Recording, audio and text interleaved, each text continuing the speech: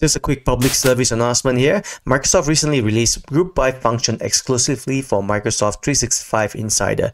If you don't have access to Microsoft 365 Insider, no problem. I've created a version for you. Group by function, by the way, is used to group rows with similar values so that aggregate function like sum and count can be applied. To use my group by function, First press alternate F11 to open VBA editor. Right click on module, insert module and paste this VBA script in your new module. Let me know if you need the VBA script. Then press Ctrl S to save and close the VBA editor. Let's test the group by function with the 10 built-in aggregate function.